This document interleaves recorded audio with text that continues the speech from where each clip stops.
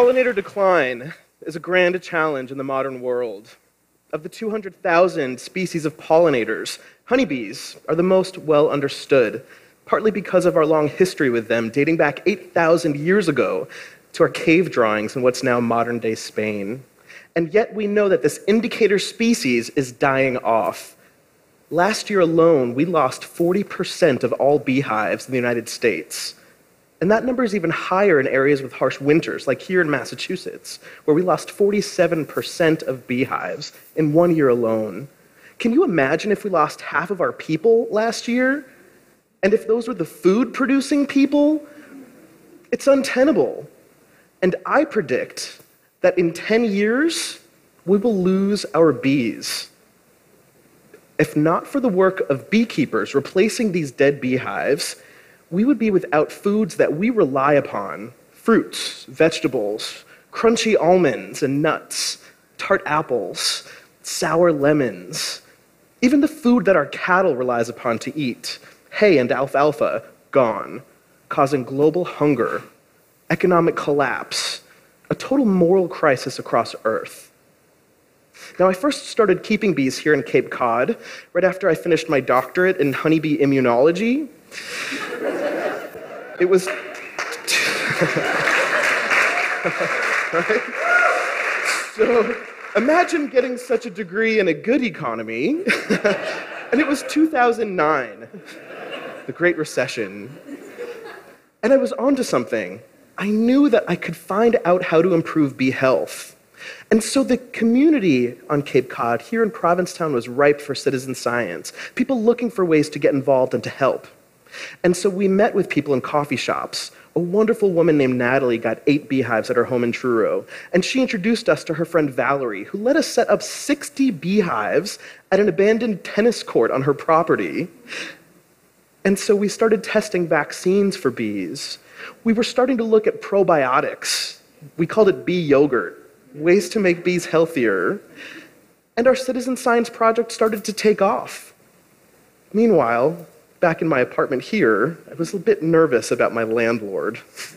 I figured I should tell him what we were doing. I was terrified. I really thought I was going to get an eviction notice, which really was the last thing we needed, right? I must have caught him on a good day, though, because when I told him what we were doing and how we started our nonprofit urban beekeeping laboratory, he said, That's great. Let's get a beehive in the back alley. I was shocked. I was completely surprised. I mean, instead of getting an eviction notice, we got another data point. And in the back alley of this image, what you see here, this hidden beehive, that beehive produced more honey that first year than we had ever experienced in any beehive we had managed. It shifted our research perspective forever. It changed our research question away from how do we save the dead and dying bees to where are bees doing best? And we started to be able to put maps together, looking at all of these citizen science beehives from people who had beehives at home decks, gardens, business rooftops. And we started to engage the public. And the more people who got these little data points, the more accurate our maps became. And so when you're sitting here thinking, how can I get involved? You might think about a story of my friend Fred, who's a commercial real estate developer, and he was thinking the same thing. He was at a meeting thinking about what he could do for tenant relations and sustainability at scale. And while he was having a tea break, he put honey into his tea and noticed on the honey jar a message about corporate sustainability from the host company of that meeting. And it sparked an idea. He came back to his office, an email, a phone call later, and boom, we went national together.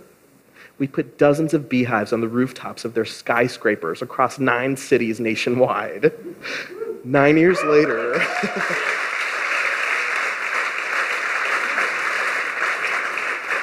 nine years later, we have raised over a million dollars for bee research. We have a thousand beehives as little data points across the country, 18 states and counting, where we have created paying jobs for local beekeepers, 65 of them, to manage beehives in their own communities, to connect with people, everyday people, who are now data points, together making a difference. So, in order to explain what's actually been saving bees, where they're thriving, I need to first tell you what's been killing them. The top three killers of bees are agricultural chemicals such as pesticides, herbicides, fungicides, diseases of bees, of which there are many, and habitat loss. So, what we did is we looked on our maps and we identified areas where bees were thriving. And this was mostly in cities, we found. Data are now showing that urban beehives produce more honey than rural beehives and suburban beehives. Urban beehives have a longer lifespan than, than rural and suburban beehives. And bees in the city are more biodiverse. There are more bee species in urban areas. right? Why is this? That was our question. So we started with these three killers of bees and we flipped it. Which of these is different in the cities? So, the first one, pesticides. We partnered up with the Harvard School of Public Health. So, we shared our data with them. We collected samples from our citizen science beehives at people's homes and business rooftops, and we looked at pesticide levels. And we thought that there would be less pesticides in areas where bees are doing better. That's not the case. So, what we found here in our study is that the orange bars are Boston. And we thought those bars would be the lowest. There would be the lowest levels of pesticides. And in fact, there are the most pesticides in cities. So the pesticide hypothesis for what's saving bees, less pesticides in cities, is not it. And this is very typical of my life as a scientist. Anytime I've had a hypothesis, not only is it not supported, but the opposite is true, which is still an interesting finding, right? We moved on. The disease hypothesis. We looked at diseases all over our, our beehives, and what we found in similar study to this one with North Carolina State there's no difference between disease in bees in urban, suburban, rural areas. Diseases are everywhere. Bees are sick and dying. In fact, there were more diseases of bees in cities. This was from Raleigh, North Carolina. So again, my hypothesis was not supported, the opposite was true. We're moving on. the habitat hypothesis. This said that areas where bees are thriving have a better habitat, more flowers, right? But we didn't know how to test this. So I had a really interesting meeting. An idea sparked with my friend and colleague Anne Madden, fellow TED speaker, and we thought about genomics, kind of like Ancestry DNA or 23andMe. Have you done these? You know, you spit in a tube and you find out I'm German, right?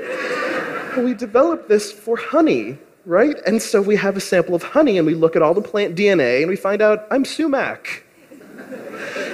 And that's what we found here in Provincetown. And so, for the first time ever, I'm able to report to you what type of honey is from right here in our own community honey DNA, a genomics test. Spring honey in Provincetown is from Privet. What's Privet? Hedges. What's the message? Don't trim your hedges to save the bees, right?